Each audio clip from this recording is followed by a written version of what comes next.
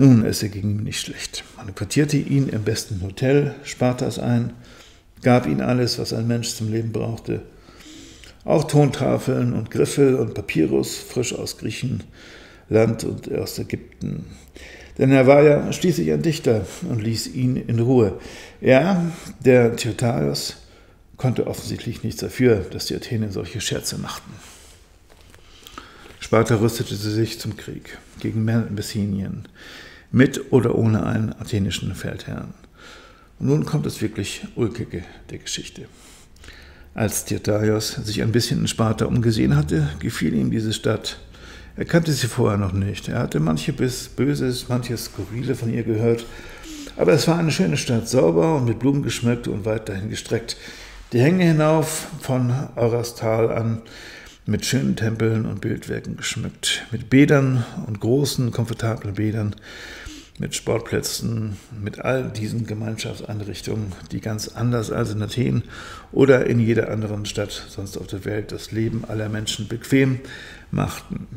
Und es gab Musik, da hatte jeder einzelne Stadtteil seine Musiktheater, da hatte jeder Club seinen Soldatenchor, da hatte jedes Internat der jungen Mädchen seine Kapellen und Chöre und Tanzgruppen. Man konnte durch die Stadt gehen, wann man wollte, und es wurde überall musiziert.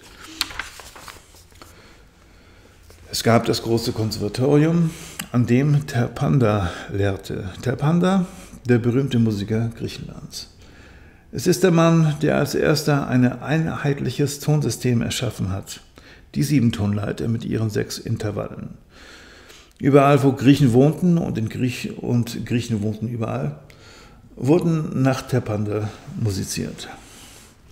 Der Darius ging hin, um ihn kennenzulernen, und siehe da, er wurde von Terpanda 26 Jahre älter als Tertaios mit aller Herzlichkeit aufgenommen, denn dieser Terpanda, ein großer, strenger Künstler, einer der Großen in der Musik, kannte Gedichte von Tertaios und war empört über die Athener, die mit einem Dichter nichts anderes anzufangen wussten, als ihn lächerlicherweise zum Feldherrn zu ernennen und vorzuschicken. Tertaios wurde von Terpanda mit wirklicher Gastfreundschaft aufgenommen. Er lernte durch ihn auch alle anderen Musiker kennen, die am Konservatorium in Sparta unterrichteten und auch die Dichter, Bildhauer, Maler und Sänger, von denen mehr in Sparta lebten als in jeder anderen Stadt Griechenlands. Tyrtaios, ein in dem reichen Athen verachteter wegen seiner Versponnenheit und seines lahmen Beines verspotteter Dichter, der dort nie Anerkennung und Achtung errungen hatte, wurde in Sparta aufgenommen wie ein vollwertiger und ernsthafter Mensch. Da wurde er in Sparta zum großen Dichter, zum ernsthaften, vollwertigen Menschen. Er ging, weil er keinen Ausweg sah nach Sparta und glaubte nichts anderes erwarten zu können, als das, was ihm auch in Athen sicher war, Hohn und Spott. Er fand Freunde dort, die ihn verstanden, die ihn achteten und förderten. Alkman zum Beispiel, den Dichter und Komponisten, etwa so alt wie Terpander, der vor vielen Jahren schon als Sklave aus Kleinasien nach Sparta gekommen war. Dort wurde er freigelassen, als sich seine außerordentliche Begabung zeigte. Jetzt war er der berühmteste Chormeister Griechenlands. Er hatte einen Kinderchor aufgebaut, der so rein und unirdisch singen konnte, dass aus aller Welt die Menschen nach Sparta kamen, ihn zu hören. Allgemein, er dichtete Liebeslieder, so tief empfunden, so einfach bäuerlich und stimmungsvoll, dass viele Menschen erst, wenn sie diese Gedichte kennengelernt verständlich wurde, wie es die Götter mit der Liebe wohl gemeint haben mochten. Titaios gefiel es in Sparta. Er wurde Spartaner. Wenn er schon dort war, niemand vom Heer kümmerte sich um ihn, obwohl er doch noch dem Orakel von Delphi dazu bestimmt war, den Krieg gegen Messinien gewinnen zu helfen, dann konnte er auch für die Spartaner Lieder machen. Er schrieb Soldatenlieder. Alkman und der Bande halfen ihm, diese Lieder zu vertonen.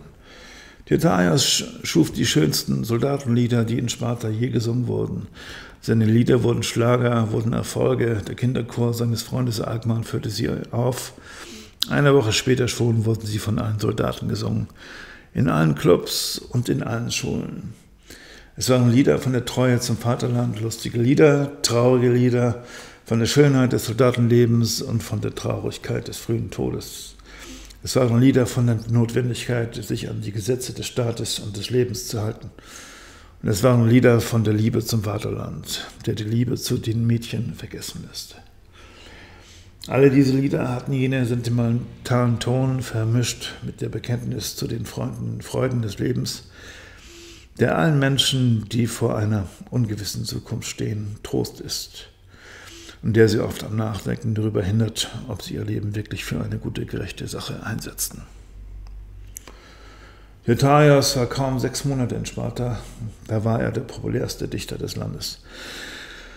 Und da sagten kluge Leute, dass Delphi recht hätte mit seinem Orakel, dass ein athenischer Feldherr Sparta retten werde. Aristomenes, der messinische Feldherr, fügte den Spartanern harte Verluste zu. Die Messinier zogen sich von der fruchtbaren Ebene in die Berge zurück und entwickelten eine Art Partisanenkrieg, bei dem die Stärke des spartanischen Heeres ihre Phalanx unwirksam blieb. Messinien war ein Land mit vielen Bergfestungen. Jeder zweite Berg war zu einer Festung ausgebaut, die für die schwer bewaffneten Hopliten unannehmbar schien. Der Krieg dauerte 19 Jahre. Einmal hatten die Spartaner den Helden Aristomedes gefangen, aber er entkam ihn wieder als alles Land seit vielen Jahren unbestellt nur noch eine Wüste schien und als es den Anschein hatte, als würden beide Völker, die Spartaner wie die Messinier, an diesen endlosen Gemetzel verbluten, boten die Spartaner dem Archimedes und alle Messinier den begleiteten freien Abzug aus ihren Befestigungen an. Aristomenes, dem die Priester weissagten, dass die Götter ein freies Messinien nicht wollten, ging auf dieses Angebot ein. Er verließ mit allen vornehmen Familien mit Frauen, Kreisen und Kindern seine Heimat. Viele blieben in Elis, Arkadien oder Argos. Viele gingen nach Sizilien oder auf die Inseln der Ägäis. Viele gingen nach Afrika oder Kleinasien. Aber die Kaufleute und Bauern blieben und wurden wieder spartanische Sklaven. 160 Jahre lang war Frieden in Messinien. Dann kam es noch einmal zu einem Sklavenaufstand gegen Sparta, der dritte Messinische Krieg. Er dauerte sechs Jahre und wieder behielt Sparta die Oberhand. Sparta war ein Staat, in dem Menschen große Erfindungsgabe darauf verwandten, Verhältnisse zu schaffen, die von Dauer sind. Aber sie schufen ungerechte Verhältnisse, die die Herrschaft der Spartiaten über die große Mehrheit der Heloten sichern und ihnen gestatten sollten, immer mehr freie Griechen zu versklaven. Deshalb war Sparta, auch wenn es uns einzelne Formen des gemeinschaftlichen Lebens des Spartiaten nicht unsympathisch erscheinen, ein, reaktionärer Staat und wir werden noch sehen, dass Sparta immer die konservativen, fortschrittsfeindlichen und antidemokratischen Kräfte in den Auseinandersetzungen zwischen den griechischen Staaten unterstützte.